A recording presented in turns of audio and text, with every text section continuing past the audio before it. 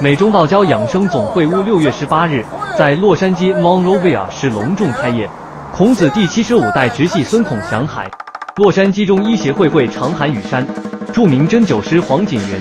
美中道教养生总会道常严建中，会长陈金然，美中道教养生加拿大东部分会张义祥等贵宾出席并剪彩。首先感谢美国政府的对宗教和各方面文化的支持，所以我们道教养生总会。是非盈利机构的慈善组织，我们的初衷是保障老百姓的健康，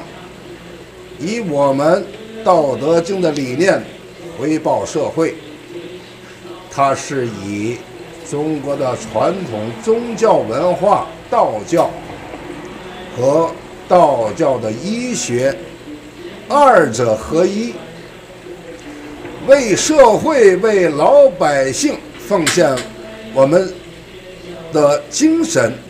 和实质上的力量，帮助更多的疑难患者解除他们的痛苦。我们中国有一句古话，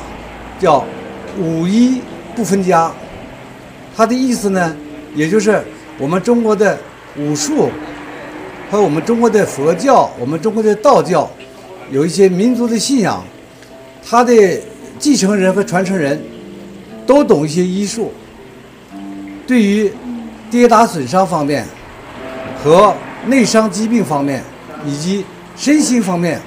都有独到的见解。尤其是严先生在道教养生方面，在过去的许多年里，在美国。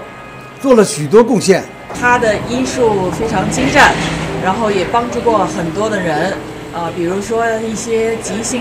腰扭伤的病人，基本上都是一次就治好了，所以，啊，我也非常的钦佩。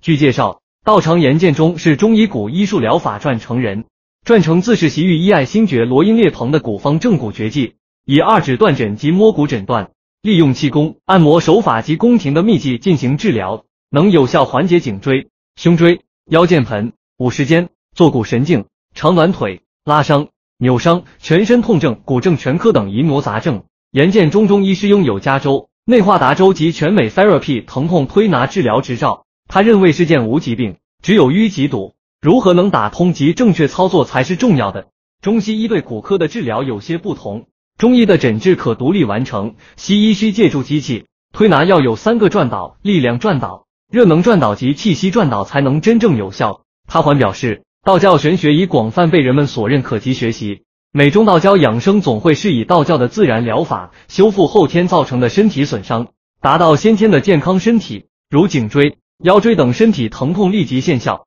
对于不同族群一律平等，第一次体验一律免费，由道长亲自加持，并有多种语言翻译。另外，民众可加入会员。可无限次数看诊，会费将作为发展基金。即日起，美中道教养生总会每周将定期转授道教气功，并不定期举办健康讲座。另外，与美中道教养生总会有联盟伙伴关系的武当山李玄心道场、师承政协常委、中国道教协会会长李光复也会不定期传授宗教文化和知识。美南电视台驻南加州记者王福明，洛杉矶报道。